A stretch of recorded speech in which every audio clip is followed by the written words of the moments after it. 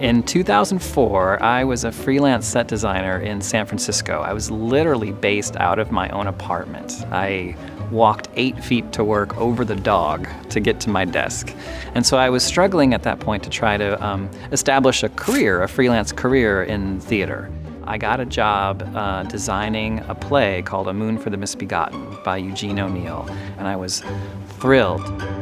And so the design, unlike many, many designs before it, was this kind of very bare bones, skeletal looking set, but it was evocative of these epic characters of this dream-like play, and not well received at all.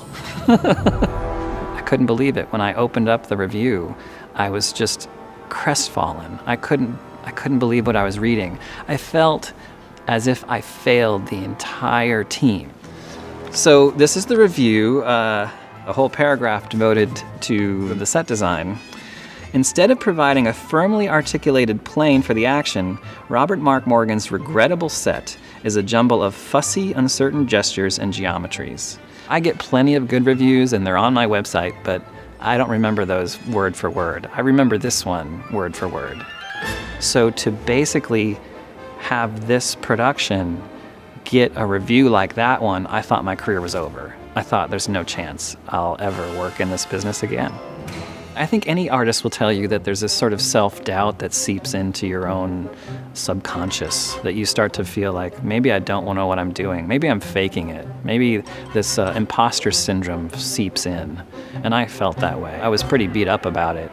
After that, I just kept working. I just kept saying yes to shows, no matter where they were coming from, trying to make ends meet, trying to patchwork a, a, a freelance design career. I didn't have time to. Uh, to worry about it, and I couldn't afford to worry about it. There's a class I teach, and it's called Designing Creativity.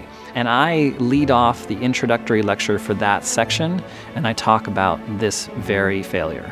I try to show them that failure is always part of every process that there's no way we can go through life without failing. If we understand that we've got to, to hurry up and fail, and then we just got on with it.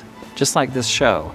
I got on with my life and my career after this spectacular failure for me.